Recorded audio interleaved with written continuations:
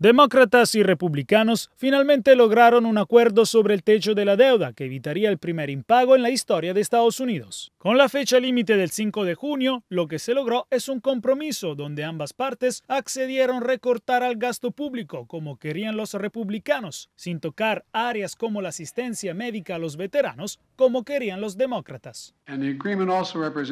Y el acuerdo también representa un compromiso, lo que significa que nadie obtuvo todo lo que quería pero esa es la responsabilidad de gobernar.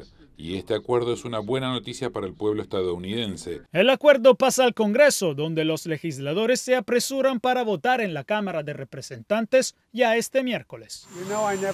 Saben, he dicho que nunca estoy seguro de lo que el Congreso va a hacer, pero me siento muy bien al respecto. He hablado con varios miembros, hablé con McConnell, hablé con un montón de gente y la sensación es positiva. Veremos cuándo comienza la votación. Ahora la pregunta es si este compromiso tendrá los suficientes votos. Las facciones más extremas de ambos partidos rechazan el resultado de las negociaciones y se oponen a votarlo. Por ejemplo, los conservadores republicanos consideran insuficientes los recortes. Sin embargo, el líder Kevin McCarthy garantiza que hay los votos.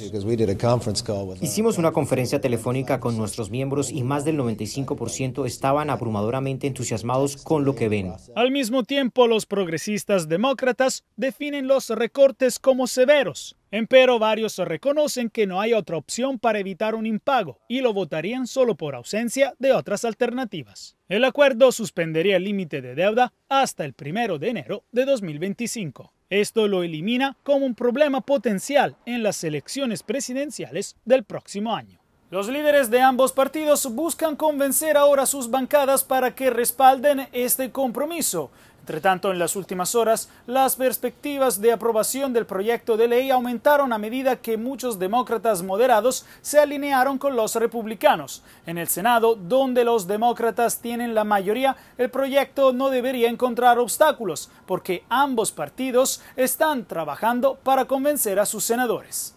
Desde la Casa Blanca, Washington, Jacopo Luzzi, Voz de América.